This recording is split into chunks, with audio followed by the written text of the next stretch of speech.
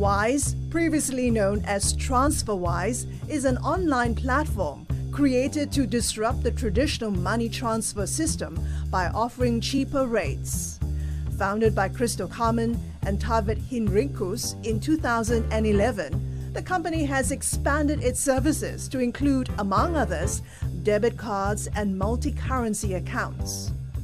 Wise says it handles over 6 billion pounds in transactions monthly and has over 12 million customers. I caught up with CEO Kristo Käärmann of Wise in Singapore for an exclusive interview. How much more can you disrupt the traditional banking model? This is a very good question. Um, it still feels like we're scratching the surface because mm. if we count um, the, the, the money that is moved through banks for people and, and small businesses, we're still servicing maybe 3% of that. So there's still 97% for us to go. So there's a lot of work for us to do. Um, only half of the payments arrive instantly, so there's another half to go there.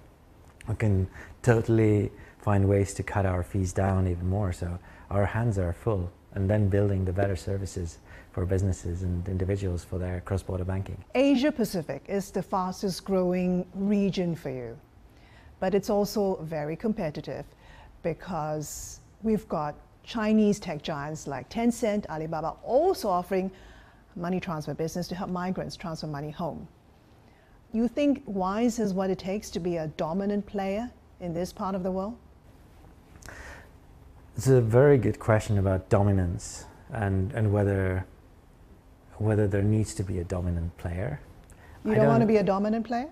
I, I don't know. I wish, uh, I wish that the services get better for customers. I think we can do a good job about this. Like, there's a lot to do, and we definitely play a role. But part of our role is also increasing competition, so we make things more transparent and therefore more competitive. And actually, um, we because we run this comparison service for our customers to figure out what the banks charge. You know, sometimes we find either a bank or another provider are able to do one route cheaper than us. Hmm. Guess what? We recommend this to our customers. But does it force you to go cheaper? We should go cheaper anyway. Um, but it does show us. Uh, it does raise the question of okay, how could they be cheaper? Like, what are they doing smarter than us? And it definitely gives us uh, a moment to think: is is there anything on that route that we're we could do better. And then oftentimes we, we find there are, and then we get even cheaper.